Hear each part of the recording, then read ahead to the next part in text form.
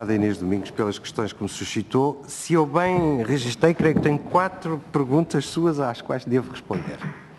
Uma primeira que tem a ver com as questões do, do Brexit, sobretudo. Uma segunda que tem a ver com as reformas, do, a reforma do Tribunal de Contas Europeu e com a questão da administração mais eficiente da União Europeia. Uma terceira relacionada com os níveis de execução, no fundo, dos acordos que constituem o Portugal 2020 e um final sobre a possível renegociação dos acordos de parceria. Quanto à primeira questão, penso eu ter registrado bem. Sim, sim. Quatro questões. Quanto à primeira questão, a questão do Brexit. A questão do Brexit, eh, penso eu que não terei mais informações do que os senhores deputados, as senhoras e os senhores deputados terão neste momento. O que eu posso dizer é que o Tribunal de Contas Europeu, há cautela, e até na medida em que as orientações escritas de que há conhecimento público dadas aos negociadores em nome da União Europeia referem a certa altura que os acordos, no que diz respeito às responsabilidades financeiras do Reino Unido, serão acompanhadas pelo Tribunal de Contas e serão baseadas a definição dessas responsabilidades nas contas vistas pelo Tribunal de Contas Europeu. Portanto, o Tribunal de Contas Europeu, à cautela, designou um dos seus membros para acompanhar este dossiê. Mas, seguindo, não quero, apesar de considerar que não tenho especial informação sobre esta matéria, para além de, daquela informação que é pública, eu gostaria de sublinhar eh, dois ou três aspectos. Primeiro, eh, não é, eh, não é muito evidente que a contribuição financeira do Reino Unido seja bastante líquida, se assim se pode dizer, porque, como sabem, ao longo dos anos e das décadas, é verdade que a contribuição financeira do Reino Unido ia sendo líquida, mas ao mesmo tempo o Reino Unido ia conseguindo exceções ou mecanismos especiais para ter o retorno do seu dinheiro, uh, e lembro da expressão da senhora Thatcher, ainda dos anos 80, I want my money back. E, portanto, há um conjunto de uh, mecanismos de natureza financeira que ao longo das décadas, se assim se pode dizer, que entretanto passaram, foram sendo introduzidos de modo a reduzir os níveis de liquidez da comparticipação financeira do Reino Unido. Isto por um lado. Portanto, é verdade que ainda é líquido, mas não é de modo a introduzir grandes preocupações. Os problemas com a participação financeira do Reino Unido têm a ver com o que é que a União Europeia e o que é que o Reino Unido consideram responsabilidades financeiras do Reino Unido. E aí é que há visões diferentes. Porque na interpretação de todos os regulamentos e mecanismos financeiros, a interpretação, sendo um sistema muito complexo, dúvidas se suscitam sobre o nível de responsabilidades que o Reino Unido tem e sendo que a visão do Reino Unido é diferente da visão que tem a União Europeia sobre o assunto. A União Europeia, provavelmente, sublinhando os aspectos de responsabilidades de longo prazo que o Reino Unido, enquanto Estado-membro, assumiu, o Reino Unido sublinhando, sobretudo, responsabilidades efetivas e correntes e presentes que assumiu e não as de médio e de longo prazo. E, portanto, é neste âmbito que há uma discussão sobre as responsabilidades financeiras que, no âmbito do Brexit, o Reino Unido deve assumir. Uma coisa que certamente os senhoras e os senhores deputados verificaram é que da primeira ronda negocial ficou assente que isto é um dos dossiês que de facto tem que ser em primeira mão resolvido antes, inclusivamente, das decisões a tomar relativamente à futura relação com o Reino Unido.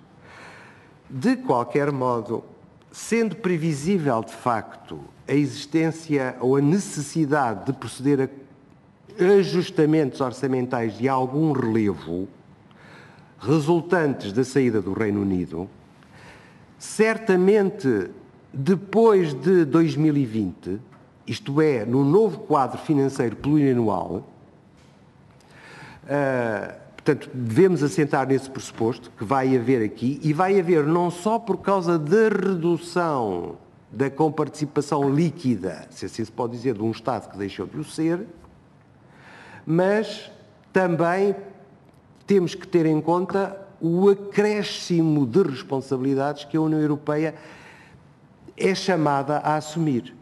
Isto é, há novas responsabilidades em novos domínios, concretamente no domínio, por exemplo, da crise das migrações, no domínio da segurança da fronteira externa, no domínio uh, da segurança e da defesa em geral da União Europeia, no domínio do combate ao terrorismo, no domínio dos serviços de justiça, isto é, há um conjunto de necessidades para as quais o orçamento da União provavelmente vai ser chamado a dar um contributo que vai levar ao repensar de muitas das políticas entretanto conduzidas. E, portanto, eu chamaria a atenção que há, por um lado, problemas relacionados com o Brexit, mas há também os problemas relacionados com novas exigências e responsabilidades que, que o Orçamento da União deve ser chamado a, a, a ter.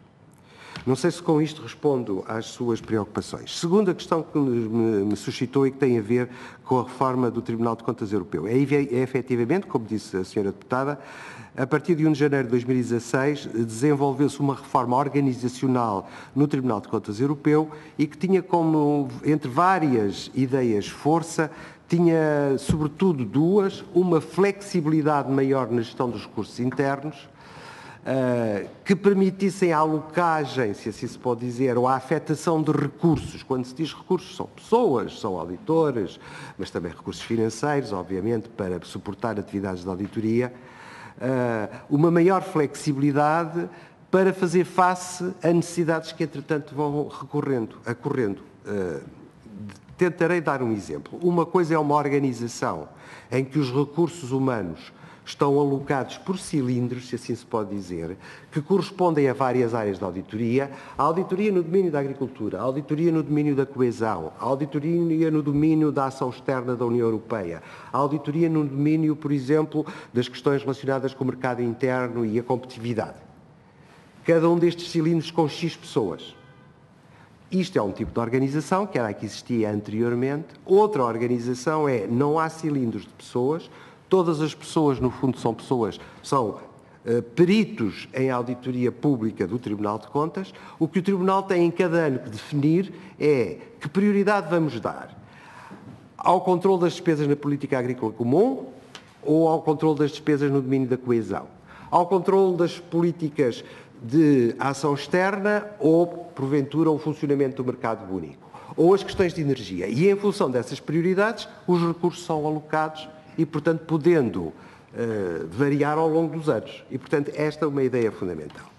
Uh, a outra, portanto, para além desta flexibilidade de gestão que está a funcionar, e posso dizer concretamente que no Tribunal de Contas Europeu este ano, neste momento, estamos ainda a meio do ano, mas já estamos a negociar entre os vários setores do Tribunal a afetação de recursos das auditorias do próximo ano.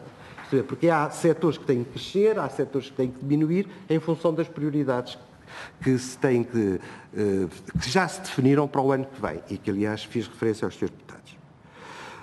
Como é que isto se articula com a nossa outra preocupação, uh, para responder à pergunta da senhora deputada, ao eleger como uma das prioridades de auditoria no próximo ano a administração mais eficiente da União Europeia?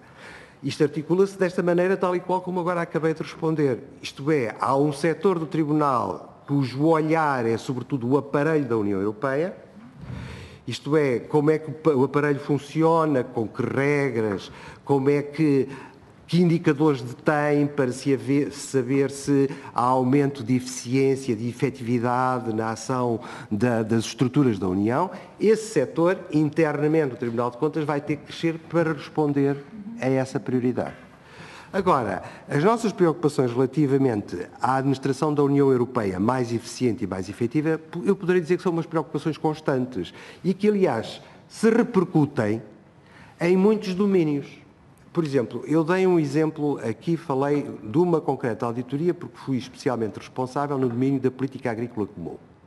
Se os organismos de certificação nos Estados-membros fizerem o seu trabalho de auditoria para controlar a legalidade e regularidade das despesas no âmbito da agricultura, se fizerem o seu trabalho de auditoria segundo os padrões que são definidos pela Comissão Europeia e que, aliás, o Tribunal de Contas Europeia, Europeu considera serem adequados, Se os organismos nacionais o fizerem, a Comissão Europeia não precisa ela própria de ir auditar as despesas da agricultura nos Estados-membros, porque confia nas atividades de auditoria dos Estados-membros.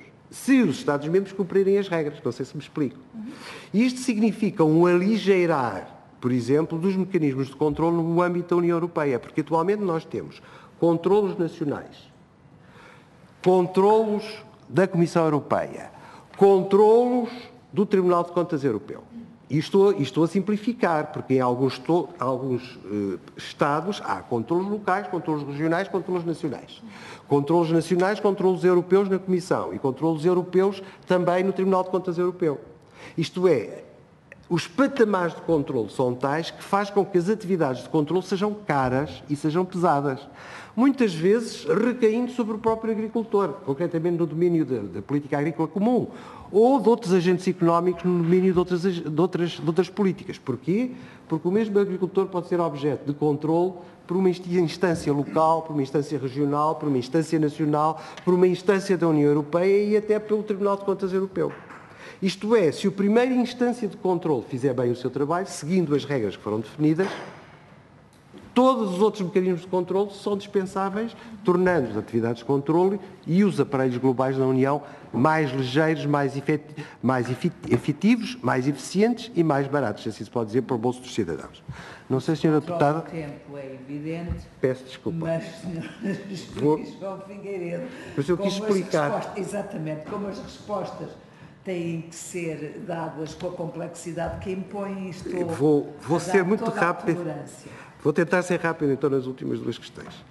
Uh, terceira questão que a senhora deputada levantou, a questão do Portugal 2020 e, no fundo, a questão que a senhora deputada me levanta é assim. O Portugal 2020 está com níveis de execução baixos. Isto preocupa-nos, como deputados, uh, o que eu compreendo. O que eu posso dizer à senhora deputada é que tem-se verificado, na generalidade dos Estados da União, uma lentidão eh, no arranque da aplicação de todos os programas eh, relacionados com o novo quadro financeiro plurianual. É uma situação generalizada, sendo que apesar de ser de facto lento o arranque na execução do quadro financeiro plurianual 2020, Portugal não está mal colocado, se assim se pode dizer, no meio disso. E em alguns domínios, aliás, tem até, surpreendentemente, uh, algumas taxas de utilização que eu até devo dizer que, como membro do Tribunal de Contas Europeu, me surpreenderam. Uh, por exemplo, no domínio dos fundos europeus de, de, de investimentos, Fundo Europeu de Investimentos, mais uh, correntemente conhecido pelo Plano Junkers, Portugal conseguiu um nível de aproveitamento dos mecanismos postos ao dispor dos Estados-membros muito superior a outros Estados. Vamos lá ver, Dado o tipo de mecanismos financeiros que, este, que, que, que o Plano Juncker inclui, que são mecanismos, sobretudo, de garantia para financiamentos a obter por via, muitas vezes, de financiadores privados, estávamos à espera que fossem utilizados estes mecanismos em Estados-membros onde o mercado de produtos financeiros está muito desenvolvido. Para nossa surpresa, Portugal conseguiu bastante. Uh, isto é, um nível de utilização muito superior a outros Estados-membros que têm mercados financeiros muito mais desenvolvidos. Relativamente à renegociação dos acordos de parceria, uh, eu acho que a questão suscitada pela senhora deputada não é tanto dirigida a mim, mas é dirigida ao Governo e às bancadas que suportam o Governo e, portanto, eu acho que eles é que se devem se pronunciar. Muito obrigado, senhora deputada. Não sei se respondi. Muito obrigada.